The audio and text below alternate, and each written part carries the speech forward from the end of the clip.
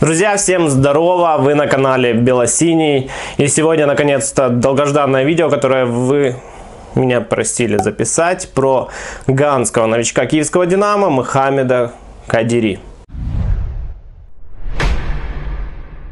Пока я расскажу основные тезисы, которые нужно знать про Кадири, вот здесь вот появляется статистика, можете ее посмотреть. Э, это молодой футболист, 23 года. Он начинал свою карьеру в Гане на родине, после чего в возрасте 20 лет перешел в Венскую Аустрию, но там себя проявить так и не сумел.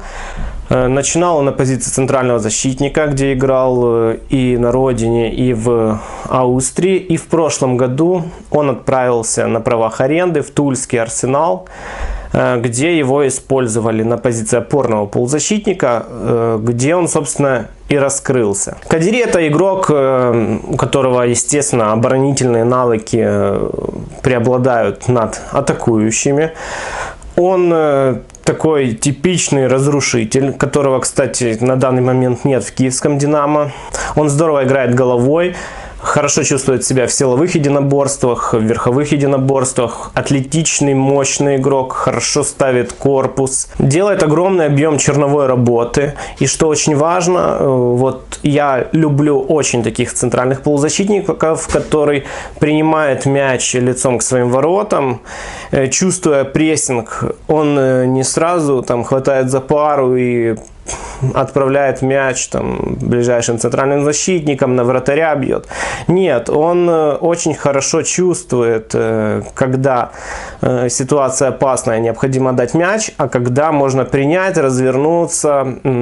Он вот такой футболист средины поля, который способен рисковать в таких ситуациях, потому что он принимает, ставит корпус, он в любом случае не отдает мяч, он либо подставляется под фол, либо начинает вязать своего оппонента и сам фалит. Э, но когда у него получается развернуться лицом к воротам соперника, то, естественно, сразу же возникает э, опасность э, сразу же возникает динамика у атаки, и это очень классное качество, потому что он способен и с мячом сам хорошо двигаться, достаточно техничный игрок, хотя Э, как таковой скорости у него нет, и скорость работы с мячом тоже у него невысокая, но при этом у него получается обыгрывать своих оппонентов.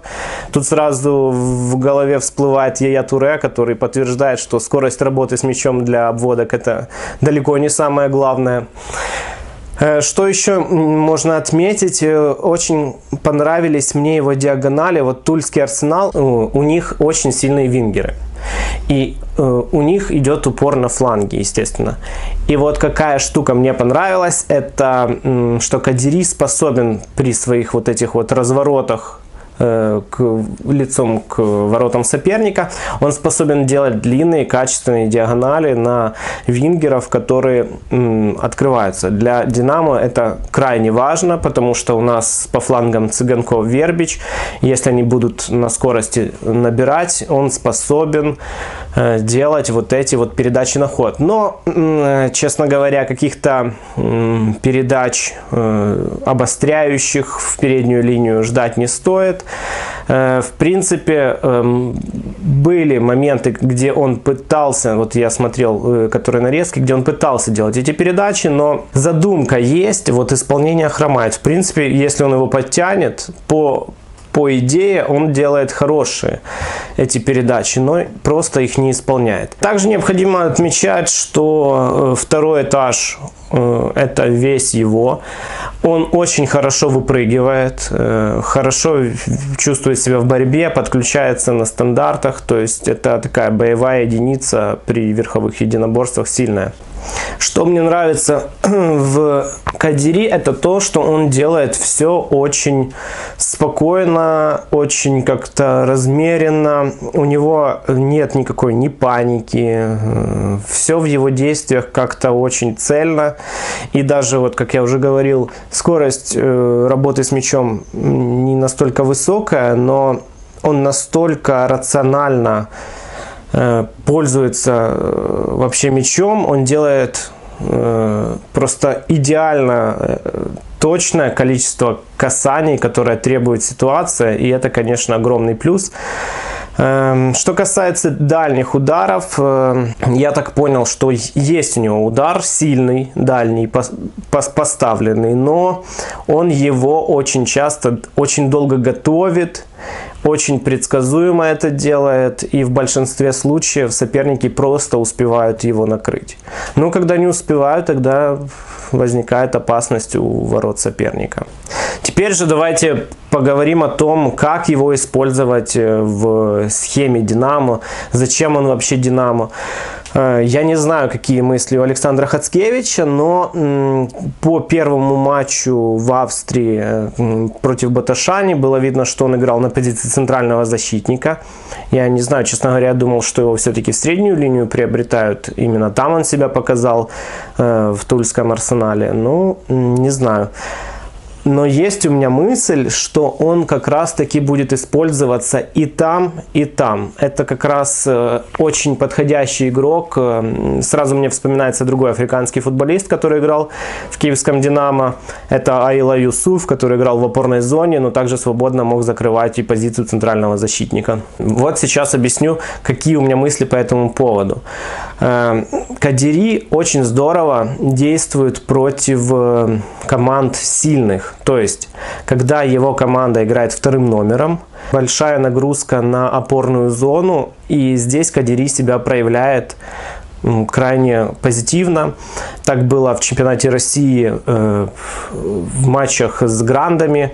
Э, кстати, Тульский Арсенал э, там у себя дома обыграл Спартак 3-0, обыграл ЦСКА 2-0, обыграл Зенит 4-2. И во всех этих матчах Кадири блистал. То есть он выжигал всю опорную зону, и они просто своего оппонента ловили на быстрых атаках, за счет чего и выигрывали эти матчи. Поэтому я считаю, что Кадири как раз-таки в матчах с более там, слабыми соперниками в чемпионате Украины, там, там, с Колосом, там, с Олимпиком, ну, в общем, с более слабыми командами, он э, не нужен в средней линии, потому что ну, в основном необходимо созидать и большими силами напрягать оборону соперника. И здесь, возможно, он будет использоваться в центре обороны. А когда необходимо будет играть с соперниками посильнее, типа Шахтера или э, соперники, которые будут уже в квалификации в Лигу Чемпионов, вот здесь его необходимо ставить как раз в опорную зону, когда уже более оборонительная тактика выбирается на игру, и когда осознанно отдается мяч сопернику, то здесь как раз Кадири пригодится в опорной зоне. Это очень здорово, потому что такого футболиста у нас нет. И я думаю, он принесет большую пользу киевскому «Динамо». При этом давайте не забывать, что э, ему всего 23 года, и это говорит о том, что «Динамо» провернула неплохой трансфер и может еще и продать этого футболиста, если он сможет себя проявить. Кстати, э, на трансфер-маркете до перехода его в Тульский Арсенал э, в Австрии он оценивался в 500 тысяч евро, а после того, как провел удачный сезон один в России, стал оцениваться в 2,5 миллиона евро. Ну, достаточно неплохой рост. Ну и последнее, что хотел сказать.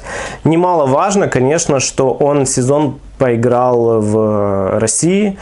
Это говорит о том, что ему будет э, проще адаптироваться к нашей стране. Наверняка какие-то базовые слова на русском языке он знает. Э, наверняка он его уже не удивишь там какой-то зимой.